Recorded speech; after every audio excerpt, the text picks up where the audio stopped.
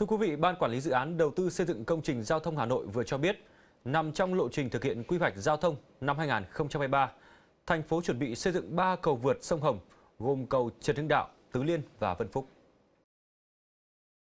Theo đó, cầu Vân Phúc sẽ bắc qua sông Hồng và tuyến đường nối ra quốc lộ 32 huyện Phúc Thọ. Phấn đấu duyệt báo cáo nghiên cứu tiền khả thi dự án trong năm 2023. Cầu dài 7,7 km, điểm đầu tại vị trí giao cắt quốc lộ 32.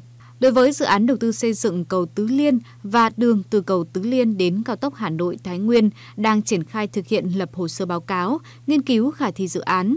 Dự kiến trình trong quý 3, địa điểm xây dựng nằm giữa cầu Nhật Tân và cầu Long Biên, nối quận Tây Hồ với huyện Đông Anh.